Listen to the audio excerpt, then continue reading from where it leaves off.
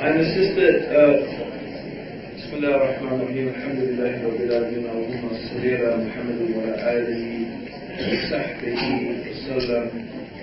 Okay, first question. I am a sister in Islam who's, who is concerned about watching the complete lecture while the brother is in total view of me. Prevention being better than cure, should I not be lowering my gaze and just listening for many sisters like to see what the lecture looks like? Please clarify. Okay, it's a good question. Alhamdulillah. Um, of course, Allah subhanahu wa ta'ala, He said that the believing men and the believing women lower their gaze. So it's not correct, as we know, for brothers and sisters uh, to be looking at each other. And uh, as we know that the Prophet wasallam said to Ali that the first gaze, the first, not the first gaze, but the glance, the first glance is, um, the first glance is forgiven. That means the glance, not the, I'm still the first one, still the first one. just the first glance, you know. However, you know, this is a very good question, inshallah. So the only thing I know about this, uh, um, and I don't actually, I have not actually come across, uh, I don't know myself until now of any scholar who actually prohibited uh, the sisters from looking at the the people who are giving da'wah or who are the uh, scholars who are giving lessons. Allahu alam. I mean, I'm there probably, I'm sure there are, but I'm just saying I don't know about that. Okay. Um, we know the Prophet wasallam used to uh, talk in front of the women and used to speak to them, but of course that's not a proof that they used to look at him. Um, however, the only thing that I can think of by way of an evidence that might illustrate its permissibility is the, the, the narration where Aisha was looking uh, at the, uh, uh, the Muslim Abyssinians who were um, you know, doing their display uh, fighting displays and skills in the mosque. And to the degree that she was resting on the shoulder of the Prophet ﷺ for a long, long time, she said, so how do you think a young girl, you know, she is looking and wanting to enjoy herself in that regard. So meaning for a long time she looked at it. So um, this is a type of illustration that if one is looking from a distance, then Allahu Alam, then some, I know some scholars use this as a proof of that being a permissibility in that regard. That's all I know about that issue. Allahu Alam.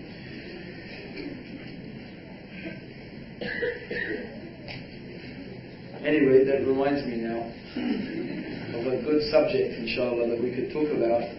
Uh, and that is that uh, this is advice to all the brothers and sisters. Of course, if you do find, uh, I think, of course, if you find that looking at someone, uh, a lecturer or whoever, is a type of fitna for yourself, then you should definitely, uh, as the sister said, Jazakallah prevention is better than cure. It is better to have to, subhanAllah, keep you away, away from something than fall into something haram, and then, you know, that would be very serious indeed. Uh, but I do recommend for the brothers and sisters what the Prophet wasallam recommended, and that is to get married. The Prophet wasallam, this is a very serious and important subject, because I know, not only in England, but I've heard especially here, also in Australia, it seems to be a problem. Uh, it seems that for some reason people are reluctant to get married and think or seem to think there may be more important things in life. Uh, but marriage is half of the deen. And the Prophet ﷺ said, O young men, marry if you are able, because uh, it helps to lower your gaze and guard, guard the private parts. This, of course, applies equally to the sisters. This applies equally to the sisters. The Prophet ﷺ advised the shabab, the youth, to get married. This is the advice of the Prophet. Or we could even say this is the order of the Prophet, if you are able. Able does not mean I need three cars, five houses, uh, nice bank account, you know, and so on and so forth. Ability means that number one, you, you are sexually able, meaning you are able to perform the act that takes place between a man and a woman. And the second definition of ability is, according to anyway some of the scholars, is that you have a dwelling. You have a dwelling, a place where you can live. Uh, it doesn't mean even you have to own it if you can rent it. If you have those two things, then Alhamdulillah, you are able to get married. And then you should obey the command of the Prophet ﷺ in that regard, and you should get married, inshallah, if you have that ability to do so. And if you do not have the ability to do so, then you should dedicate yourself to fasting. You should dedicate yourself to fasting. That means you should fast in a manner that is not merely, you know, the normal sort of just in the Ramadan, for example, you should dedicate yourself to it. Meaning, fasting should be a solid program, part of your, uh, you know, weekly program. At least I would think, Allahu Alam, depending on the individual, at least I would imagine that you would fast Mondays and Thursdays. Depending on the vigor of the individual, then, you know, it might be even good to fast once every other day. I think in Australia, you need to fast once every other day. Because in England it's cold, you know, everyone sort of dresses here.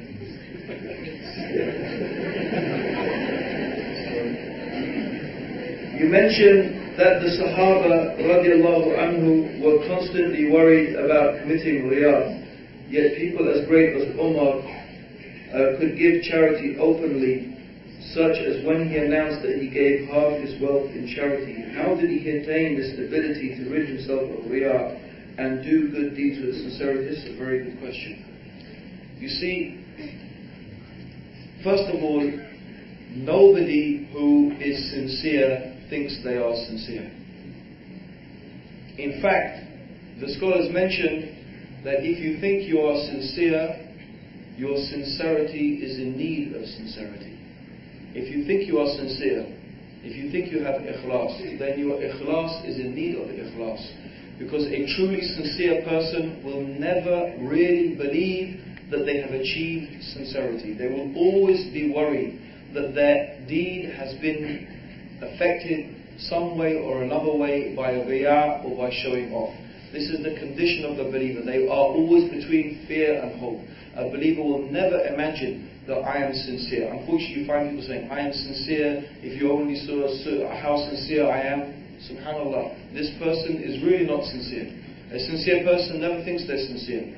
So Umar did not achieve a state uh, where he thought he was sincere. We don't attribute that to him. Rather, there was the condition of the companions that they were always worried about their sincerity, but they never really thought that they had achieved it.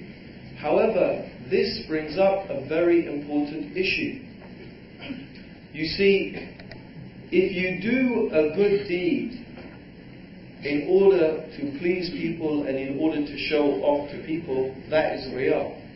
But if you leave doing a good deed, meaning you, there's a good deed that you want to do it, but you stop it because you think, oh, the people might think that I am showing off, then that's also showing off. That's also showing off.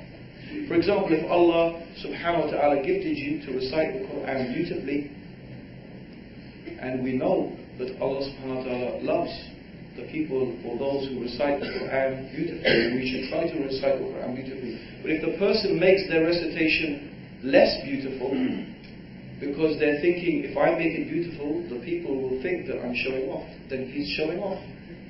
Because the show off, the person who is committing riyah is the person who does their deed for people, not for Allah. So that's why Omar it's not relevant whether they gave their charity secretly or they gave it openly. If there is a benefit in giving your charity openly, and that you know that if you give charity openly, you will encourage other people to give charity, and that is your intention, that is a good deed. But if you say, oh, I'm not going to give this charity because the people might think that I'm showing off, then you're a show off. That is why the Sahaba in that regards, they did their good deeds. They did the good deeds, whether they were openly or whether they were privately. Whether the deeds were open, public, or private, they did the deeds. The aim is to continue doing the deeds, but to make sure that it is directed purely for the sake of Allah. I hope, inshallah, everyone understands that point because it's an important point. Assalamu alaikum. After hearing about the severity of speaking without knowledge, I am scared to say anything. If someone asks me if something is haram or halal, is it compulsory for me to answer them if I know of an opinion on the topic?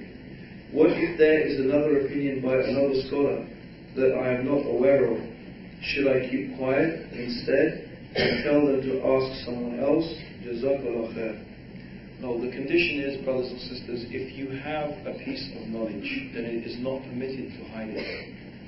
Whoever is asked about something of which they have the knowledge and they hide it, then Allah will make them wear a bridle of fire on the day of judgment. So if you know something and you are sure and you have a degree or a good degree of certainty, or the, your certainty is more than your doubt,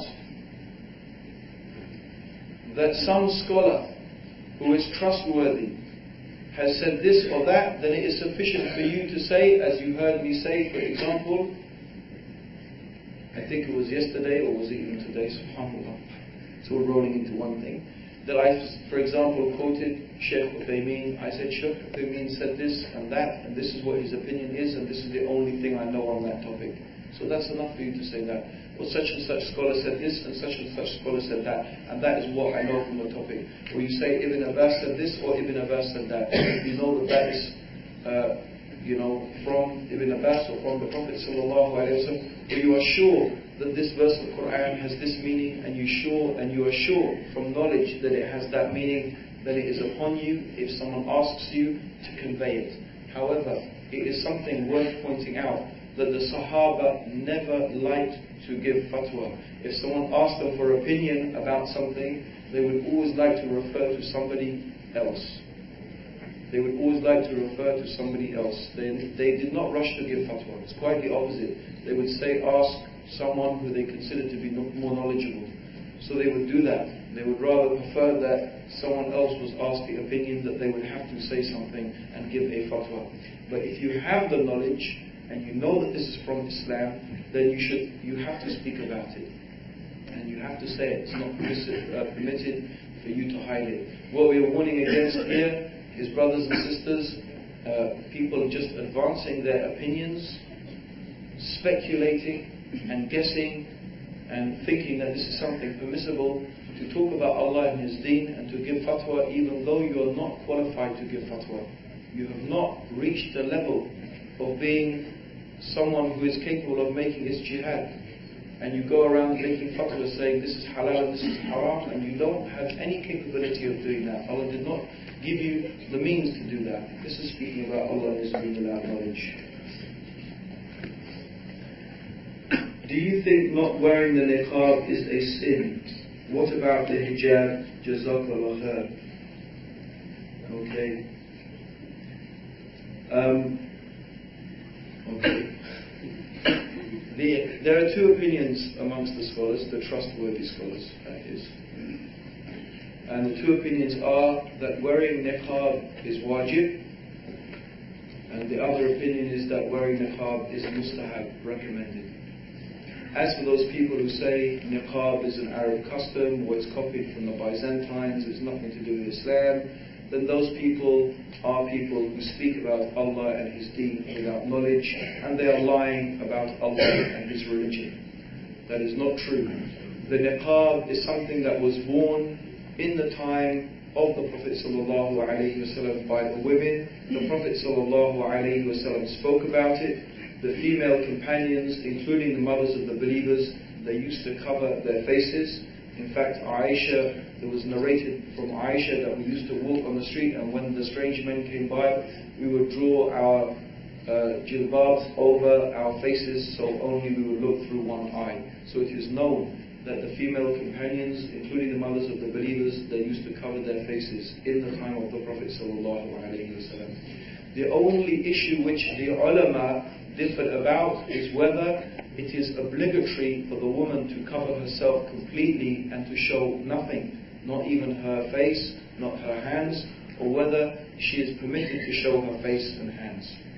Anyway, you know, I'm not going to go into all the evidences and who says this and who says that and why this one has that opinion and why the other has this opinion.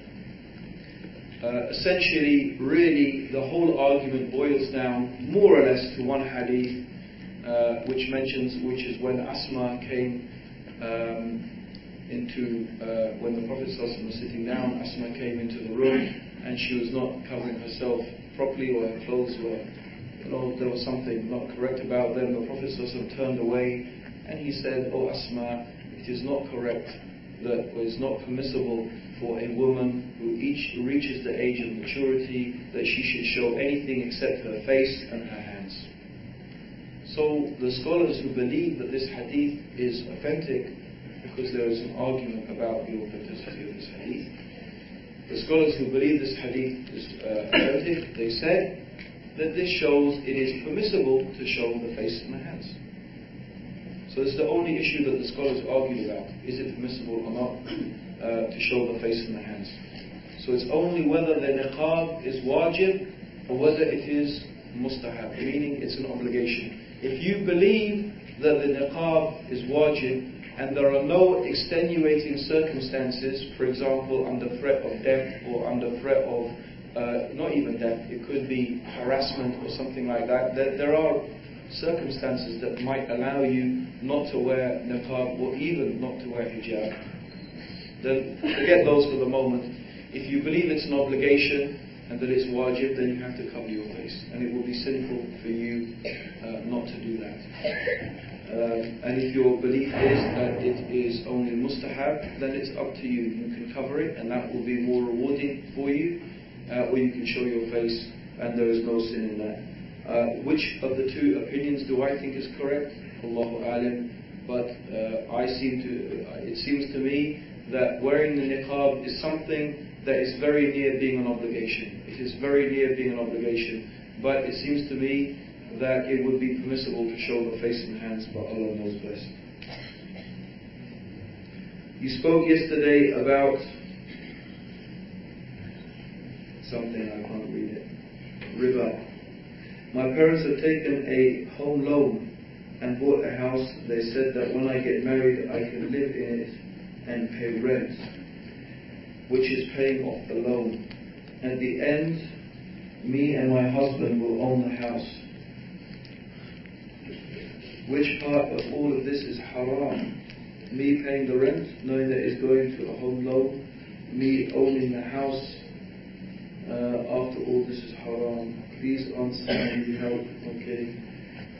Um, you know, the thing is that I really only like to answer questions that I'm absolutely sure that the answer is, you know, subhanAllah, correct, and I don't want to speak about Allah deen without knowledge, nor do I want to give a fatwa without the ability to give a fatwa. So the sister, I'm sorry about that, but you have to ask a scholar who is capable of giving a fatwa on this issue. So I don't have the sufficient knowledge, I'm sorry, to be able to answer your question. I'm really sorry about that. But I'm sure if you contact the brothers or sisters at ISNA, they will get uh, in touch with someone who has the capability to answer your question, inshallah. And they will maybe, they will, I'm sure they will definitely contact some good scholars and give you uh, a ruling uh, about that. Um, I work at a restaurant where something is uh, born. What's born? Bacon. Bacon. Is a new word for bacon. Born is the, and so at times I am. Uh, you have to handle it with gloves and tongs and so on and so forth. Is it haram for you to be working there? Uh, in general, from what I say, from what the, from what I know, from what the ulama say, it is not permissible to work in a place where they are selling alcohol or pig or anything like that. Uh, this is a type of means of approving uh, of what is taking place in there. And if the brother cannot, uh, if the brother is able to find some other means of employment, and this is not going to put the brother uh, into a serious uh, type of, you know, a, a greater evil, uh, if the person stopped working, he may be put into a very bad situation, but otherwise he should definitely try to find uh, another job that does not involve dealing with haram things. If you committed a major sin which you truly were not aware of as being a major sin, what advice would you give? Our brothers and sisters, Alhamdulillah, if one commits any sin, as I said, the doors of Tawbah are always open. Allah subhanahu wa ta'ala, He is Ghafoor Rahim. He is the most forgiving. He is the most merciful. He is the one who accepts the repentance of his slaves. So if you commit a sin, whether it is major or minor, then you should return to Allah, that you should recognize that your sin is something that you have done transgressing against Allah subhanahu wa ta'ala and His commands. You, you should feel, as I said, remorse and regret in your heart. You should ask Allah to forgive you and you should make every effort to keep yourself away from that sin and to keep yourself away from the things that lead you to commit that sin. And Allah subhanahu wa ta'ala, insha'Allah, will forgive you. So this is what is upon us, that when we commit sins, whether they are small or large, we should repent. In fact, brothers and sisters, sometimes the small sins can be more dangerous than the major sins. Because sometimes we commit small sins and we don't really think about repenting from them. They're just small things. We look at the TV, we see, you know, nakedness, we listen to music, you know, uh, on the television. We do things that, in many respects, they are small sins. But because they are small and they happen a lot, we don't think about making tawbah from them. And the fact is that they accumulate and they accumulate because every time you do a sin, a black spot appears on your heart. A black spot appears on your heart. And every time you do a good deed, a good deed, a white spot. And repentance wipes the rust the and the rust that is on your heart. So what one needs to do is keep on making repentance. But if you keep doing small sins, the black dots come until they cover your heart and make it dark and make it hard for you to remember Allah subhanahu wa ta'ala. And so sometimes many small sins can accumulate and they can have the same effect as a major sin. So we should not take even, subhanAllah, the small sins lightly. So the doors of repentance are always open, whether the sin is major or minor. We should repent to Allah subhanahu wa ta'ala.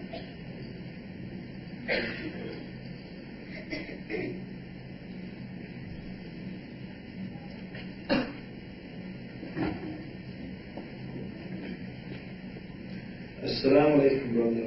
There are sisters that wear an eye on a necklace. They say that it is for protection against the eye of the people, the evil eye. Okay, what is the situation with this? The situation with this, that this is shirk. This is shirk. It is clear, unambiguous shirk. It is making partners with Allah. The Prophet ﷺ said, as Abdullah ibn Mas'ud, he narrated from the Prophet ﷺ that Tamima is shirk. That the talisman is shirk. The talisman is shirk. The talisman is shirk. Anyone who has any type of charm, any type of talisman, and they think that this thing, whether it is, and according to Abdullah ibn Mas'ud, it doesn't matter if it has Quran or not. Any type of thing that you hang it and you wear it, whether on yourself or in your house or in your car, and you think that this thing is going to protect you from evil, from the evil eye, or from the shayateen, or from any type of evil, or if you believe that it is going to bring you some good, then this is shirk. Because you have attributed to this thing the power that only belongs to Allah subhanahu wa ta'ala. And Allah and the Prophet ﷺ said that the person who wears these things, then Allah will leave the protection of that person to that thing. Meaning the protection of it is nothing. It's really no different than idol worship. And people who worship idols and they pray to them and they think that they're going to get some benefit, or be warded off from some harm. If you wear these things thinking it is going to bring you some benefit or ward off some harm, it is shirk without a doubt. It is no different in reality than idol worship. And if someone was to say that, oh, I had such and such problem and I wore this talisman and the problem went away, or any such thing like that, then this has already been explained, subhanAllah, by the great companion Abdullah bin Mas'ud, who came home one day and he found that his wife was wearing a charm. And he took it and he took it off his wife and he said, What? Shirk in the house of Abdullah bin Ibn Mas'ud. And his wife said, Oh my husband, I had a twitching in my eye and I went to this Jew and he gave me this and it stopped. And he said, Oh my wife, this was only a shaitan that was attacking you. But when you went to the Jew and you took the talisman and you made shirk, then the shaitan left you alone. In other words, to fool you into believing that this thing had power. And through it, then you made shirk with Allah subhanahu wa ta'ala. So, brothers and sisters, these things are shirk. And if it seems to us that it has brought some benefit and brought some harm, it doesn't make any difference. The thing has been forbidden, it is making partners with Allah, and we have to be careful of the deception of shaitan. All of these things like eyes, little beads, blue beads that are supposed to ward off the evil eye, whether you stick it on your neck or in your shop, is all shirk. And it's something, of course, that if you die, it's something that you could cause you to die outside the fold of Islam. SubhanAllah. May Allah protect us. Assalamu alaikum, brother. A lot of people I know go to this lady's house. She reads the bottom of coffee cups. Yeah. Telling everyone their futures. Wouldn't that be the same as reading and believing in horoscopes? Jazakallah khair, brother. It is exactly the same. It is no different at all. If you read the bottom of the cup coffee pot, if you read the tea leaves, if you read the palm on someone's hand and you say this is your lifeline and here's how many children you will have and all that stuff. I know about all of that stuff from before I became Muslim. I studied all of that stuff. All of this is fortune telling. Coffee reading, palm reading, tea reading. If you look at the birds and you say, oh, the bird's flying in this way is going to tell me that, or this star in the ascendancy means that, any of those types of things that is all from, or you know, sometimes people look in the insides of animals, you know, certain animals and things, they do that still. And they tell you, you know, what is going to happen according to that. All of these things, that anything that resembles it in any way, shape, or form. Tarot cards as well. You know the tarot cards? All of those things are from fortune telling. All of that is kufr, and all of that is haram. Okay? An important point I want to make, I want to emphasize it again because a brother asked me. He said, and he mentioned, uh, he, and I want to remind you that you know when I said that the one who does it out of curiosity, their prayer will not be accepted for 40 days. I mentioned it, let me mention it again. That does not mean that you are allowed to stop praying for 40 days. No, it's not funny because, yes, because then you will have two sins. You'll have number one, the sin of the fortune telling, and then you'll have the other sin, which may even be kufr, of abandoning the prayer. You still have to pray. You still have to fulfill the obligation of the prayer. So you have done the obligation, only you will not get the benefit, the extra reward of the praying. But you, you at least must still fulfill the obligation, because you have to do that to be Muslim. So you can't say, that, you know, oh, I drank some wine, because it's the same. If you drink wine, your prayers are not accepted for 40 days. Okay? But you still have to pray. It's an important issue, an important point. Okay. Assalamu alaikum uh, I'm in year 11 and I go to school and I free mix with girls and I can't avoid it. So what do I do? Because wherever I go, I am going to put my eyes on a girl. The sin. MashaAllah. In year, year 11, how old is someone in year 11?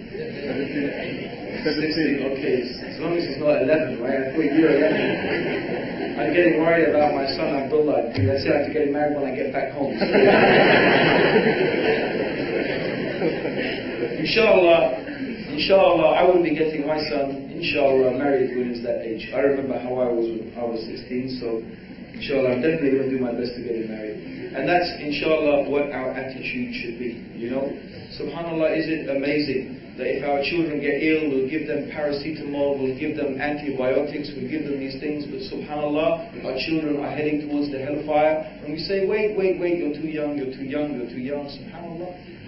You're too young. I tell you something, yeah? You, when you're 16, you're not too young to go to hell. You're not too young to go to hell. When you're 16, you are mature, and Allah subhanahu wa ta'ala, the angels start to write your deeds. That means you are old enough to go to hell. Subhanallah. Think about that when you parents say you're too young. Subhanallah. They're not too young to go to hell. We are supposed to save our children from the hellfire. Allah has made the parents and Allah has told us, save yourselves and your families from the fire. Subhanallah. That is more important than any degree, any education, anything. Subhanallah. What are you going to do on the day of judgment? Oh Allah, here's my degree. That's not good. That's not what's going to save you from the hellfire, brothers and sisters. Okay? So, subhanAllah, we have to avoid the sins and we have to take the means to avoid the sins. Anyway, I advise this young boy inshallah, because obviously maybe it's going to be difficult for you to get a dwelling and whatever, and maybe your parents are not going to be sympathetic to your desires to get married. Inshallah, who knows? Actually, this is an issue, subhanAllah, really, it would be nice to talk about it. It would be nice to talk about it, and there are many ways, inshallah, if only we applied a bit of intelligence and we thought about it, and we were ready to admit that we're not anymore living in the villages in Lebanon and Turkey, you know, but we are now in Australia, okay, and things are different here, okay, and things work differently, you know, that's the reality, you know. There are pressures on our kids and our children's and our children that did not exist in those times, you know. So we have to think of ways of dealing with this situation. Anyway, for this boy, Jazakallah khair for asking the question, then I advise you with what the Prophet wasallam advised you, fast. You need to fast.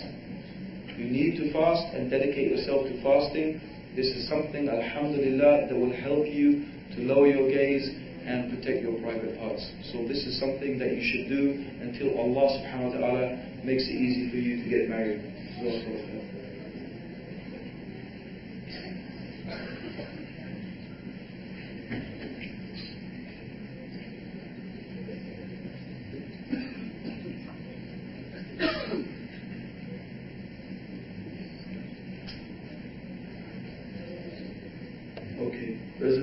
Here that's, uh, again, it's similar to one that went before. Again, I think the listener is not really, the, the question has not really understood what I was saying. When I said, and I talked about, the, anyway, the question is, you said that most of the time you give fatwa, if we are passing knowledge to others, it is part of the deen and Islam, of course it is, you know. But I was talking about speaking about Allah and His deen without knowledge. Giving fatwa that was not based upon knowledge. I think that's pretty obvious actually from what I said, you know. I'm talking about speaking without knowledge. Saying this is halal and this is haram without really having any knowledge that it's halal or haram. In fact, we may, we may say it and it may be a part of our culture. How many people you hear, for example, they say, and I'm sorry to keep bringing this example, but it's the most obvious one. Oh, polygamy, that was for them. Polygamy, that was for them. That's not for today. Oh, the hijab, that was for them. That's not for today. How many people you hear them saying that? About many different things in Islam. This is now giving a fatwa. This is speaking about Allah's deen. This is the things I'm talking about. I'm not talking about speaking with knowledge, having studied the Quran and the Sunnah and knowing what the scholars have said about it, of course that is not speaking without knowledge, that's speaking with knowledge. What we were warning about was when you speak about Allah and His deen without knowledge. So, it seems clear to me, and may Allah subhanahu wa help us. Okay, how should a Muslim look like physically, that is, in appearance? Is there anyone who is without sin, major or minor? Will there be a lot of space in heaven and a crowded hell? Alhamdulillah. Actually, both the paradise and the hellfire will be, will be filled, full. Allah will fill the paradise and He will fill the hellfire. Subhanallah. As the question, I don't really understand, maybe it's two different questions. How should a Muslim look like physically? That is an appearance. The reality is, brothers and sisters, Allah subhanahu wa ta'ala does not look to the outward appearance. Allah does not look to the outward appearance. Meaning, Allah does not look at whether you are handsome or ugly or short or tall or blonde and white or black and dark. Allah does not look at whether you are rich or you are poor, whether you drive this type of car whether you drive that type of car or whether you don't drive a car at all. Allah subhanahu wa ta'ala does not look at those things. Of course, if the appearance is part of the sunnah, is part of piety, for example, the Muslim woman's dress, then this is part of the appearance, of course, that Allah subhanahu wa ta'ala does look at, because this is something that Allah has ordered. Or, for example, the man growing the beard, this is part of the appearance that Allah subhanahu wa ta'ala does look at because this is something that has been ordered. But it means Allah does not look at whether you are tall or short or this or that. But Allah subhanahu wa ta'ala, He looks to the hearts. This is what Allah subhanahu wa ta'ala, He looks to the deeds. So the appearance of the Muslim in reality should be an appearance that is not necessarily, of course, it doesn't mean you go out of your way to look scruffy or something like that. If you can look smart, you should look smart. If you can dress well, you should dress well. In fact, it is part, it's from the deen that if Allah has given you His bounties, you should make that known. You should make that seen. You should make it seen. It is not part of faith that if Allah subhanahu wa ta'ala has given you uh, bounties and His blessings, that you should walk around in rags. This is not part of Islam then you should make the bounties that Allah has given seen. But the appearance, brothers and sisters, of the Muslim, subhanAllah, what is important is the, the appearance should be in reality of the good manners, the good adab, the good akhlaq, kindness, gentleness, patience, tolerance, forgiveness, overlooking of faults, being firm upon what is good, and being firm also against what is evil. These should be the characteristics and the outward appearance of the Muslim. Subhanallah. Keeping their promises, fulfilling their trusts, speaking the truth, being good to your neighbors, being good to your parents. This should be the outward appearance of the Muslims. There are many things, brothers and sisters, that Muslims do. It really appalls me. Really appalls me. You know the Prophet ﷺ said? He said, the believer is not one whose neighbor, whose neighbor, he is not a believer whose neighbor is not safe from his mischief. He is not a believer. You will not find meaning, the believer is not one who causes mischief to his neighbor. In fact, you shouldn't find a Muslim causing mischief to anyone. You know, uh, I, am sure you're going to laugh, but how many people do this? They drive up in their car, beep, beep, beep. Yes? Doesn't a lot, don't a lot of Muslims do that? They drive. They couldn't be bothered to open the door and get out of their car and walk three yards to knock on the door and say, "I'm here." Now, what do they have to do? Beep their horn and disturb everybody. It could even be three o'clock in the morning. This is Muslims. How many Muslims park their cars all over the place, blocking entrances and blocking exits? Yes. I didn't say Lebanese, I?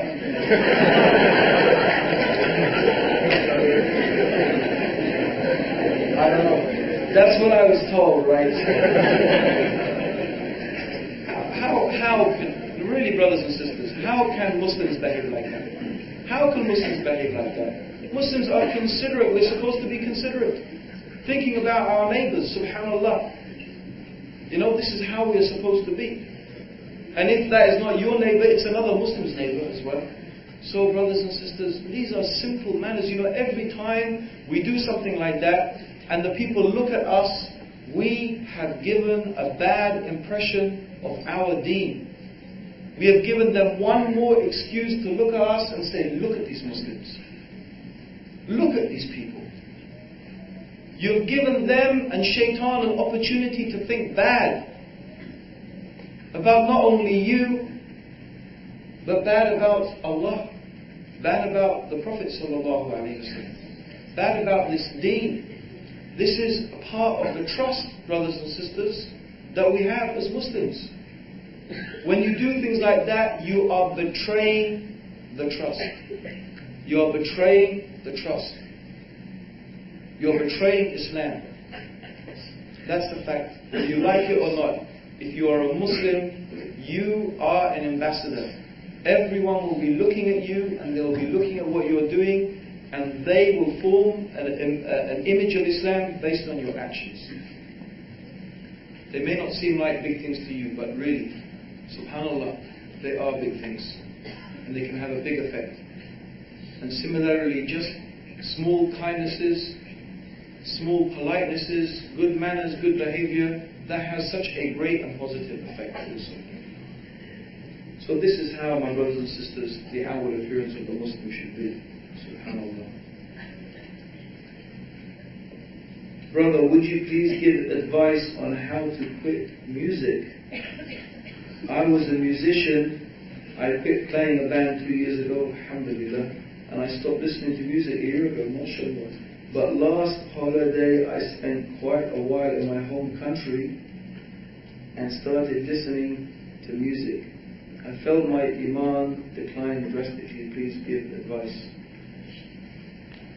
I think that with all of these things, brothers and sisters, it is a question of refreshing ourselves and reminding ourselves of what Allah has said about this thing and what Allah, uh, what the Prophet ﷺ has said in forbidding that thing, of thinking over and reminding ourselves of the evils. You know, subhanAllah, this is something, you know, we are all fighting with. Not just music, I mean the sins generally. I, all of us have something have some sins, have something that we are struggling hard. And sometimes, subhanAllah, our weaknesses get the better of us. But you know, again I have to repeat, that the way is the way of repentance. The Prophet ﷺ, told us the sons of Adam, they sin by night and they sin by day, but the best of the sinners are those who repent. So as often as you commit a sin, then you have to repent. You have to make that sincere effort not to make that sin again. If there is something that keeps on leading you to sin, you know, for example, if you have a TV in your home and you just can't resist turning it on when it's, you know, oh, Kylie Minogue's on tonight or whatever, I don't know. But you have Top of the Pops here, I don't know, where in England or something, you have, you know, the charts and you have the music and stuff. You can't resist it, really, and the TV is in your house, then it's upon you to get rid of the TV. You have to. That's part of sincere repentance. If you have a group of friends that whenever you end up going with them, you end up listening to music, or you end up going to the disco or the, the nightclub or whatever, then you must keep away from those people. If you go to that country and every time you go back to that country you end up, you know, listening to music, you should keep away from that place. This is part of sincere repentance. So we have to remind ourselves that this is haram. Allah said, the Prophet said, what did the scholars say? What is the logic and even the reason and the rationale behind it? These are some of the ways, inshallah, and then making tawbah and asking Allah subhanahu wa ta'ala to make us firm in keeping away from these sins. And when we are away from them, being grateful to Allah. Because if you're grateful to Allah, Allah will give you more. If you're grateful, you thank Allah, Allah thank you, and you thank Allah that He, that he kept you away from the sins, then Allah inshallah will keep you away from the sins and keep on keeping you away from the sins. Alhamdulillah. Okay, innovation, forcing women to wear the veil in Afghanistan, forcing it upon someone, is it not accepted? Okay. Um, well, that depends. If the scholars in Afghanistan believe that wearing the veil, the veil is wajib, which is the opinion actually of uh, many of the ulama, then yes, then they are obliged to force people to obey Allah subhanahu wa ta'ala and they are forced to prevent them from disobeying Allah. This is what is Amr bin Maruf wal Nahi al Munkar, enjoining what is right and forbidding what is wrong. This is the purpose of having an Islamic state. The purpose of having an Islamic state is to create an environment where people obey Allah and they are kept away from disobeying Allah. As for the issue of the person's sincerity, that is not something you can force. You can't force someone to be sincere. But you can force the person to do what is right outwardly and to abstain from what is wrong outwardly. In fact, if you don't do that, then corruption and filth will appear on the face of the land and the sea. This is the reality. Because human beings, it is in their nature. And this shows the wisdom and the perfection of the way of life, the deen, the sharia that Allah has revealed. It, it is part it is part of the human nature. Excuse me. That when you see somebody doing something evil, and when your nafs, your hawa, your desires are inclined towards that evil, when you see somebody else doing it, then it is part of human nature that you become more inclined to commit that sin. So the more you are surrounded by evil, the easier it becomes for you to commit that evil. In fact, it may go to such an extreme that you begin to treat this evil as a norm. You begin to treat this evil as a norm. You think this evil is a normal thing. And you may even begin to think that this evil is a good thing. So every society, without exception, has a set of standards which they try to apply. Uh, this is an argument I, have used. It, you know, this is an argument I used in Speakers Corner in London. There were there were there were some girls arguing with me about, oh, you Muslims, you this and that, and you whatever, and the way you oppress women and whatever, and you make them cover themselves. We're free in the West. Well, at least she said this in England, Australia, I don't know that here, right? But she said, we're free. I said, okay, if you're really free, you can take off all your clothes and walk naked down Hyde Park Corner. So she didn't know what to say. I said, why won't you do it? I said, you won't do it because you know you'll be arrested. Because you're not free to walk naked down the street. You have to cover yourself. Even in this society, you have to cover yourself. You are not free to walk naked down the street. But I want to know who defines how much you have to cover and how much you're allowed to show. Who defines it? Who decided you can show, you know, this much or this much or this much or whatever? Who decides? Who has written down and decided it? You see, Islam is from Allah. It is not from some people and some human beings who decided on the basis of what? Some random decisions they happened to make at some time. This is from God who knows best the needs of the human beings. I said the difference between us and you is we have a higher standard of morality than you do. That's the difference. So this is the issue. No one is free. Freedom does not exist. Freedom is a myth. You are not free at all. Every society has rules which they implement and they enforce upon people. Islam is no different. Except that the rules in Islam are from Allah and they are perfect. The rules from men, they are imperfect. The rules that are from Allah are just and righteous. The rules that are from men may be or they may be not.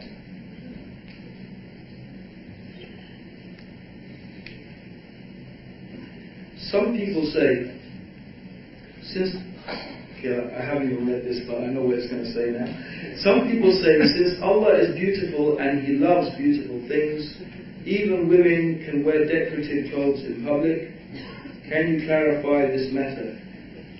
Is isbal, lowering the garment below the ankles, haram for men only if you do it out of pride? Okay, there's two questions there.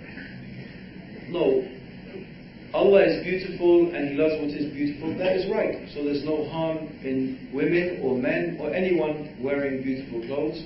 But all of that is in the context of the Sharia. So if the, the man is allowed to wear beautiful clothes, but for example, they can't be effeminate clothes. They can't be clothes that are like the clothes that women wear. Because Allah has cursed the man who imitates the woman and the woman who imitates the man. Similarly, the woman, she is quite free to wear beautiful clothes, but she is not free, if she is Muslim, she is not free to make tabarruj, to display them to anyone, in fact, except her husband and those who are mahram to her.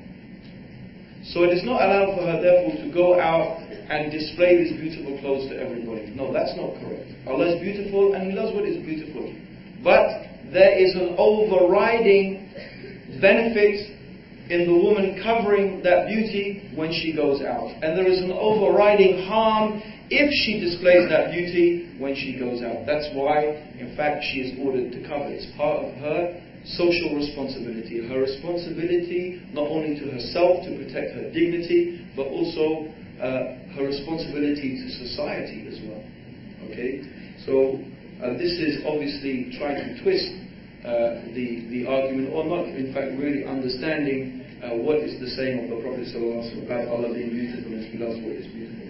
In fact, we would say that the Muslim woman, when she covers herself, Alhamdulillah, that is beautiful in the sense that this is a sign of piety. And what is more beautiful, subhanAllah, than piety? Subhanallah. And as for the isbal, uh, this is not a correct argument to say that. Uh, my garment is lowered and it goes below my ankles, but I don't do it out of pride. That's not correct. Because in fact there is a hadith of the Prophet ﷺ in the Musnad, uh, Musnad of Imam Ahmad and, the, and, and, it says that the isbal is from pride. It is from pride. So it's from pride itself. And not all the hadith concerning isbal say that it is from pride. In fact, the isbal or to lower for men, for men, only, to lower the garment below the ankle uh, is something that is forbidden and it is a major sin. It is a major sin to lower the garment. However, I have to say that there is one issue that is something that is a difference of opinion amongst the scholars, and that is to what is does the term isbal actually refer to? This is actually something which the scholars have differed about. So some scholars do not accept that the word term isbal refers to trousers. They say the term isbal only refers to the, the you know, the izar or the garment, you know, the thing that you wrap around your waist. That the isbal is a particular, referring to a particular type of garment. And that they restrict it only to that garment.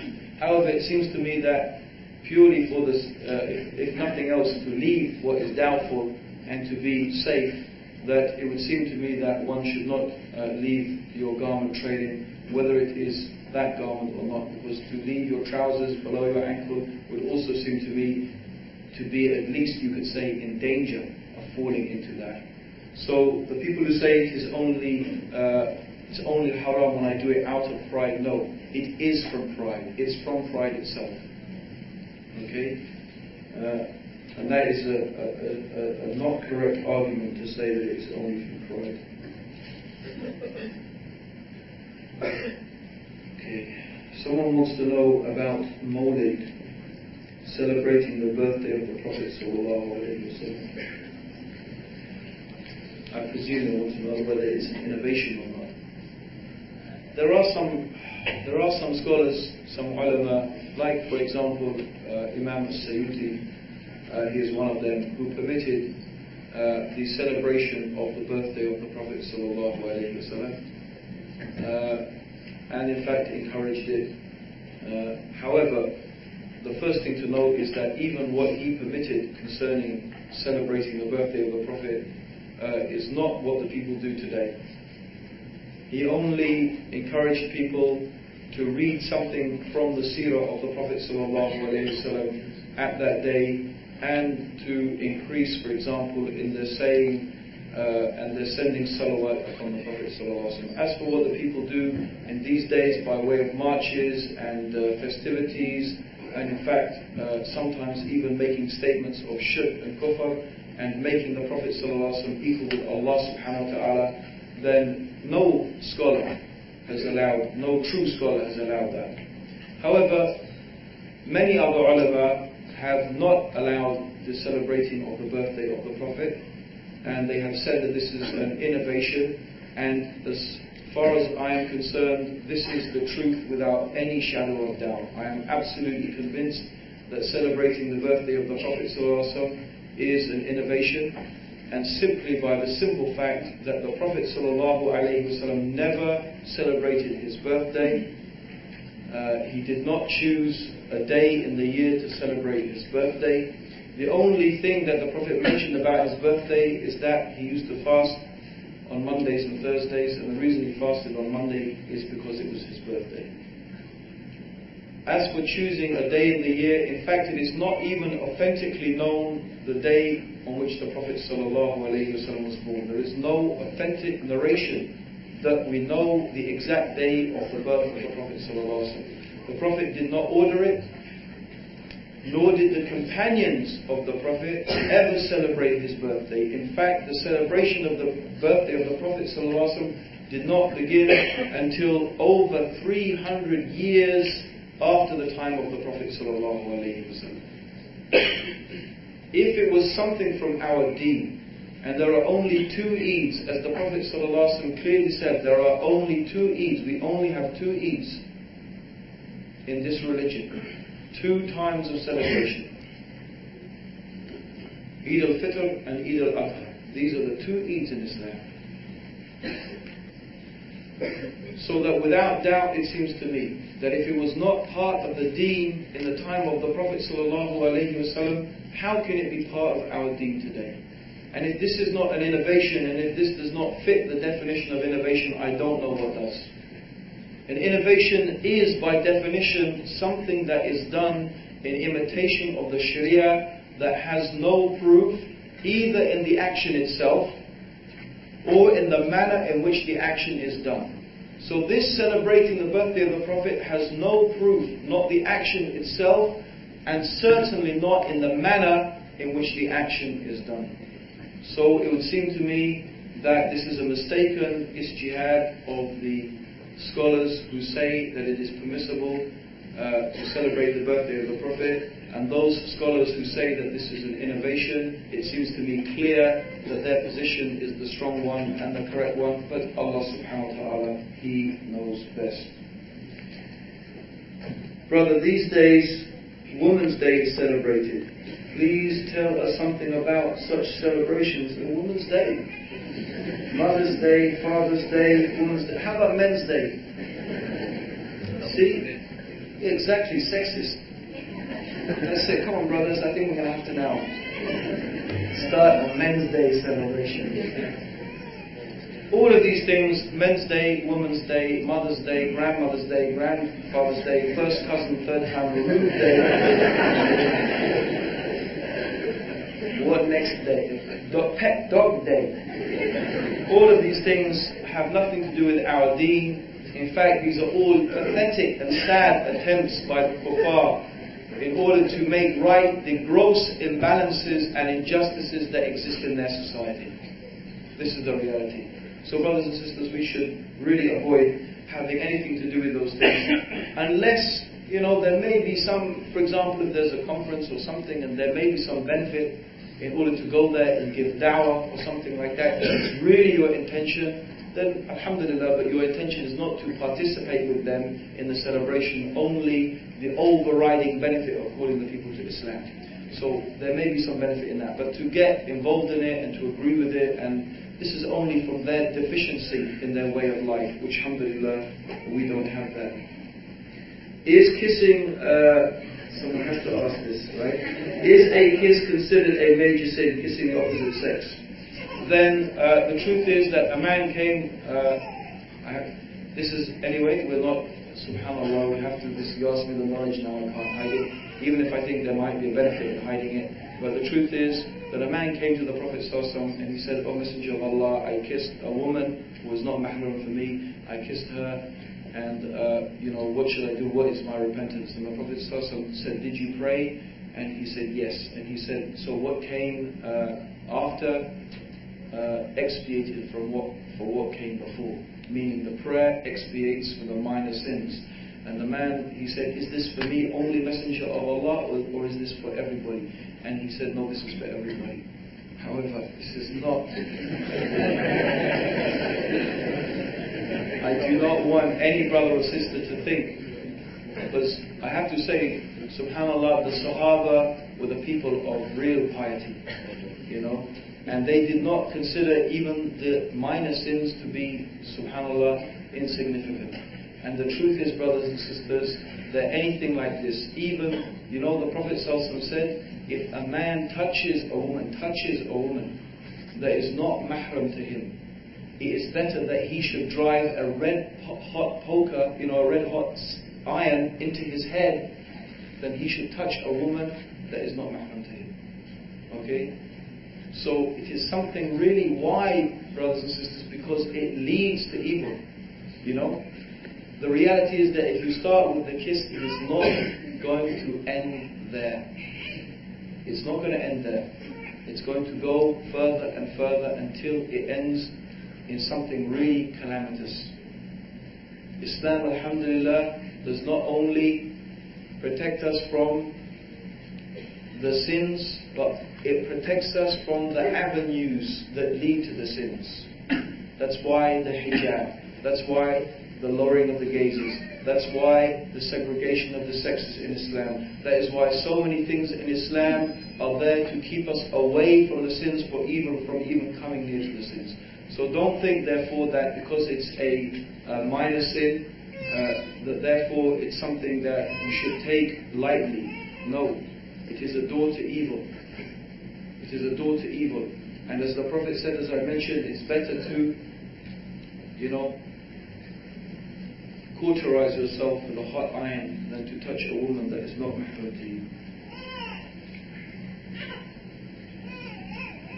This is a good question, it's going to take too long. Someone asked, what are the newly innovative things in society? Innovations, by the way, do not mean things like, you know, video cameras and uh, computers, and some people say they use this, this is their argument. They say, oh, so if innovations are not allowed and new things are not allowed, we can't drive cars, we can't use the radio, we can't use the TV, they're all innovative things. But these things are not done in imitation of the Sharia. They are not acts of worship. They're not in imitation of the Sharia. These are things from the dunya. The things from the dunya are permissible. In general, everything from the dunya is permissible unless there is a clear evidence to make it forbidden. The, the way for the things from deen and acts of worship is the opposite. Everything, everything by way of acts of ibadah. All acts of worship are forbidden except that which has been taught to us in the sunnah of the Prophet So the issue for acts of ibadah and acts of the dunya are, are, are completely different. Okay? Are different. So, um, that's just to mention that, you know, innovative things does not mean therefore driving motor cars and so on and so on and so forth. These are not what we mean by bid'ah. Bid'ah is things in the religion.